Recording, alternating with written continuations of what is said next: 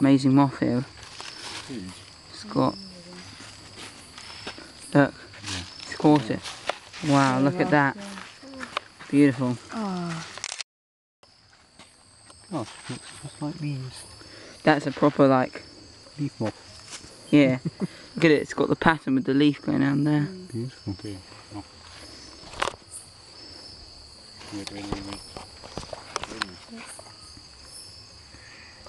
Take it from underneath as well. and There's a good picture underneath.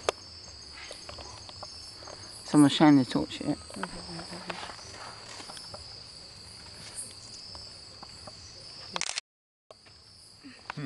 Amazing. Sorry. Wait, wait, wait. Sorry.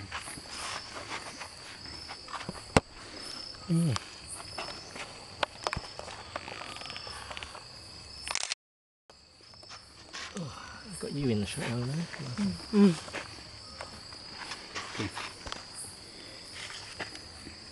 Billy.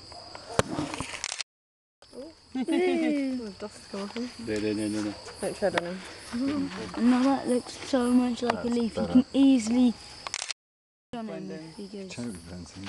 Could have, on my camera it comes brighter red.